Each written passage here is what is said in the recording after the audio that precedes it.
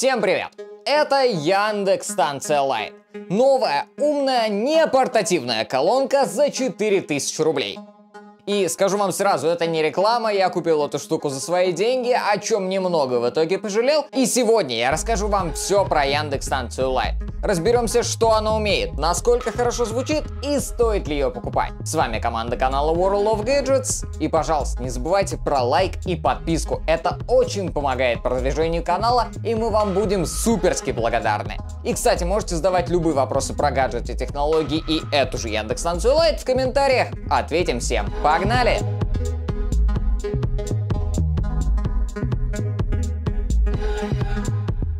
Поставляется колонка в солидной коробке. В комплекте со станцией вы найдете небольшой черный блок питания с лого Яндекса, провод с резиновой застежкой в цвет колонки, инструкцию и наклейки.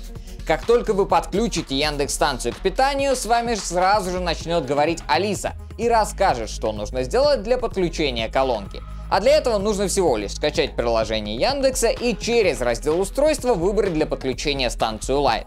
После этого вы выбираете сеть Wi-Fi на смартфоне и станция сама подключается к вашему аккаунту и сети. Происходит это довольно быстро и легко, теперь даже не надо со смартфона воспроизводить колонки странные звуки, как это было с другими Яндекс станциями. Кстати, всего есть 6 расцветок Яндекс станций. Но сейчас, на данный момент, в продаже есть только вот такая вот сиреневая, как у меня, и бирюзовая. Но с 22 июля в продажу появится желтая, красная, бежевая, а также розовые версии. Причем цвет Яндекс станции Light реально очень важен. В зависимости от цвета у колонки свой характер. Например, у меня колонка «Зажигалка-тусовщица». И слова «зажгу на вечеринке» и «раскрашу будни» на коробке это подтверждают. Более того, у каждой Алисы на разных Яндекс станциях Лайт теперь есть собственный плейлист любимой музыки, подходящий ее цвету и характеру. Чтобы услышать его, достаточно попросить Алису включить свою любимую музыку. У других колонок плейлисты и ответы на вопросы будут отличаться в зависимости от характера. Например, бирюзовая это утонченная и романтичная, красная это целеустремленная и дерзкая, желтая это смелая и неординарная, а бежевая это спокойная и тихая, ну и розовая мечтательная и впечатлительная. И это прикольно. Например, если спросить у колонки «Алиса, что тебе нравится?» Алиса, что тебе нравится?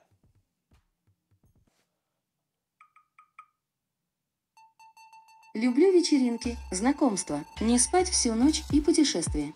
Ну, типичная колонка-тусовщица. Другие отвечают по-другому. То есть спокойная будет отвечать что-то типа «люблю завтракать с вами» и так далее. И это реально очень прикольно. Но самое главное выбрать теперь себе колонку по характеру. А то будете мучиться с тусовщиком, когда вы жуткий интроверт и сидите дома, вам бы спокойную музыку. Вы а абсолютно тут... правы. Я абсолютно прав. Видите, даже колонка это подтвердила. Было бы круто еще, если бы на Яндекс станции можно было менять свой характер. Но, к сожалению, пока такое делать нельзя. Ну, например, если я хочу из тусовщицы сделать какую-нибудь спокойную колонку. Или наоборот, агрессивную, если у меня плохое настроение, ну, надо на кого-то негатив вылить. Вот на эту штуку и можно было выливать. Но, к сожалению, не все так просто. Сама Яндекс станция Lite полностью выполнена из пластика и, конечно, смотрится сильно дешевле, чем обычная Яндекс станция или станция мини. И сказать, что новая станция Light смотрится круто и прям красиво, язык вообще не поворачивается. Реально очень не хватает тканевой обивки. С ней колонка бы смотрелась куда более эстетичнее. Сверху на колонке есть 4 кнопки. Это кнопка уменьшения громкости, увеличения громкости, кнопка паузы и кнопка отключения микрофона. Причем эти кнопочки сенсорные. Громкостью, как на станции мини, вот так вот, проводя рукой вверх-вниз, управлять нельзя, но зато просто нажимаете на кнопочки. В принципе, круто, что они сенсорные, не надо сильно давить, ну, лично мне так кажется. Тому же срабатывают они в любом случае, даже если у вас мокрые руки. Но вот что плохо, так это то, что они вообще никак не выделены. То есть они выступают, но у них такой же цвет, как и у самой станции. А это не очень крутое решение. Например, если вы ночью захотите отключить микрофон, а случайно нажмете на что-нибудь другое, то вас соседи убьют за то, что вы включили супер громкий трек в 3 часа ночи. И будут правы. А вот Яндекс не прав, что не выделил как-то кнопочки. Было бы круто, если бы хотя бы сами кнопки черные были, или просто вокруг них какие-то кружочки.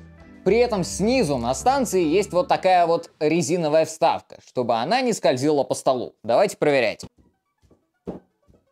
Ну, вообще, почти намертво держится. Реально классная резина. В общем, со стола она у вас соскальзывать ни при каком условии, ну, даже если вот так поставить, не будет. Сзади у колонки располагается USB Type-C порт для подключения питания. Вообще в интернете ходили слухи о том, что Яндекс станция Lite станет первой портативной умной колонкой бренда. Но, к сожалению, этого не случилось. Работает колоночка только от сети. И с собой в поездку или куда-нибудь еще ее взять не получится. И это, конечно же, грустно. К тому же в Яндекс станции Lite еще и убрали мини-джек, который был в Яндекс станции Мини, Яндекс станции и Яндекс станции Макс. То есть невозможно подключить внешнюю акустику, чтобы слушать Яндекс Музыку с помощью Яндекс станции, подключенной к внешним крутым колонкам. И это особенно обидно, особенно учитывая то, как звучит Яндекс станция Lite. Но об этом чуть позже. А сейчас давайте поговорим про управление. Управляется Яндекс станция Lite, как и все другие станции от Яндекса, с помощью голоса. То есть вы можете попросить ее включить там музыку, погоду узнать или вообще радио. Ну или управлять умным домом, если у вас есть какие-то умные розетки и гаджеты, которые совместимы с Яндекс станциями. И лично я вам скажу, это моя первая Яндекс станция на обзоре, и я понял, в чем их прикол. То есть, типа, до этого я думал, ну, просто колоночка с голосовым ассистентом. На самом деле все гораздо интереснее. Концепция вот этой штуки в том, чтобы экономить ваше время и чтобы вы не отвлекались на различные гаджеты. Например, с помощью Яндекс станции можно поставить таймер, создать список дел, создать список покупок, вызвать такси да, вызвать такси на ваш адрес, который записан у вас в телефоне, без использования смартфона. К сожалению, пока продукты в лавке или на Яндекс.Маркете товара покупать нельзя, но возможно это добавится обновлением. И это очень круто. Ну потому что, чтобы поставить таймер, мне просто надо сказать два слова, и Алиса с Яндекс станции мне его поставит. То же самое с напоминаниями и списками дел. А так, пока я залезу в смартфон, найду приложение, открою его, потом прочитаю какое-нибудь сообщение, которое мне приходило, ну я реально зависну на нем минимум на минут 10. А Яндекс-станция просто услышит это, пока я буду работать за компьютером, поставит напоминалку, я не буду отвлекаться, и успею все сделать быстрее и потом пойду отдыхать. Реально очень крутая штука, если у вас проблемы с тайм-менеджментом и самоорганизацией. Просто убирайте смартфон и ставите вот эту штуку. Реально вообще ни на что не будете отвлекаться, при этом будет возможность ставить напоминалки и делать все самые базовые задачи с помощью этой колоночки. И отдельно про голосового ассистента Алису, который живет в Яндекс станциях. Это, наверное, самый лучший русифицированный голосовой ассистент, но не без косяков. И один из таких сейчас я вам продемонстрирую. Алиса, создай список дел. Что записать? Озвучь список дел. Добавила в список дел, озвучь список дел. То есть как бы я хотел, чтобы Алиса начала создавать список дел, а потом такая, озвучь его. Она должна была просто сказать, что у вас нет списка дел. Но она начала добавлять задачу озвучь список дел в список дел. Да, к сожалению, искусственный интеллект э, до сих пор не настолько классно понимает человека, как э, люди понимают друг друга. И это, конечно, бы надо подправить, но видно, что разработчики стараются. Алиса стала гораздо умнее, на данный момент она сильно круче, чем Siri, Google Ассистент или та же Маруся от Mail.ru Group. Все-таки это самая прокачанная штука. Но она даже умеет распознавать ваши эмоции. Например, смотрите. Алиса, что-то мне сегодня грустно. Попросите меня найти смешные видео. Обхохочемся. Сарказм. Ну, то есть вот, да? Обычный голосовой ассистент просто бы начал это гуглить или еще чего. Или сказал, я не знаю, что ответить на ваш вопрос. А здесь она предлагает видео посмотреть смешные, анекдоты или просто спрашивает, чем вас развеселить. Это очень приятно. Все-таки с кем-то можно пообщаться. Кстати, у колонки же еще есть Bluetooth. То есть к ней можно подсоединиться со смартфона и прям напрямую воспроизводить музыку из любого вашего музыкального сервиса. А так колонка воспроизводит музыку только через Яндекс Музыку. То есть нельзя там через Spotify, Apple Music и другие сервисы включить сюда музон прямо с колонки. И это, конечно, грустно, но понятно почему. Типа Яндексу это невыгодно делать. Им выгодно, чтобы вы покупали подписку. И это вполне логичная рабочая схема. При этом вместе с Яндекс станцией в подарок дается 90 дней пробного бесплатного периода. И за это время вы можете привыкнуть к сервисам Яндекса или наоборот сказать, что вы этим пользоваться не будете, выкинуть колонку в окно и все такое. Но второй вариант менее вероятен, потому что Яндекс Музыка вполне отличный сервис. Я лично им пользуюсь и пользовался еще до покупки вот этой вот Яндекс станции Lite. Всем нравится. Ну и как же звучит эта малышка Яндекс станция Lite? Динамики у нее расположены внизу, вот. И когда вы ставите ее на стол, они типа отражают звук от стола и создается такой эффект объема. При этом выходная мощность у динамиков станции Light, как ни странно, больше, чем у станции Mini, которая стоит на 1200 рублей дороже. При этом звучит колонка, ну, средненько. Звук четкий, резкий, но не хватает объема и деталей.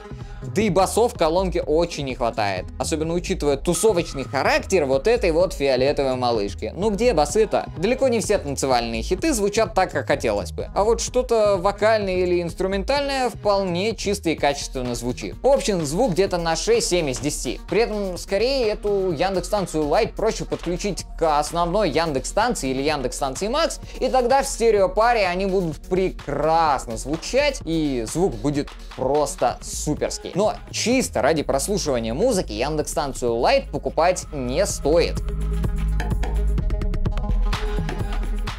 Ну и итог.